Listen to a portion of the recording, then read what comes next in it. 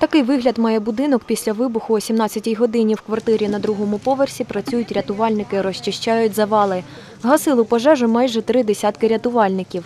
Із е, слів е, мешканців будинку тут проводилися роботи газовими службами, було відключений газ, подачу газу і або це планові роботи проводились, або це проводилися аварійні роботи, поки не встановлено. І навіть є інформація, що і один із постраждалих це е, працівник газової служби. Наш слюсар постра- постраждав, нічого не можемо спитати зараз. Кваліфікований працівник давно працює. Встановлювали лічильник газу, ну не в цій квартирі.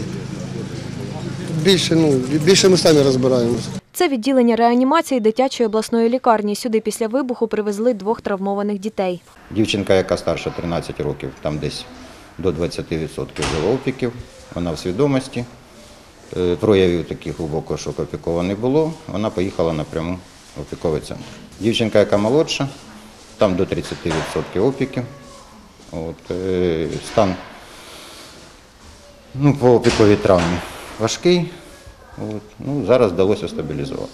Опіки обличчя, шиї, спина, кінцівок. Мешканців будинку евакуювали. На цій пожежі, е, за попередньою інформацією, є троє е, потерпілих. Е, Це двоє дітей і одна доросла людина. І от щойно повідомили, що знайшли під завалами одного загиблого. Наталія Батуріна мешкає на третьому поверсі у цьому під'їзді.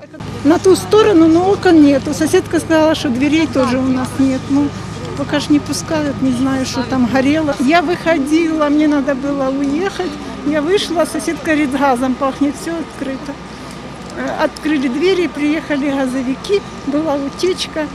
Они, ну, типа, старым способом поп- попробовали, что там мы, мылом что-то там помыли, пропускают, и уехали. Потом приехали второй раз уже с каким-то прибором. Сказали, что утечка газа. Ну, там ставили газовый счетчик у нас на этаже. Біля будинку працюють півсотні поліцейських. Причини вибуху з'ясовують, каже поліцейський Олександр Сагаль. Поліцейські у нас забезпечують це охорону публічного порядку на місці події, а також е, будуть забезпечувати е, збереження майна громадян, е, які постраждали внаслідок даної події до тих пір, до яких це буде необхідно. У цьому будинку 142 квартири, зареєстровані 364 людини. відселити цей під'їзд і повністю з адресами, з телефонами, щоб ми знали кожного мешканця цього під'їзду і взагалі в цьому будинку.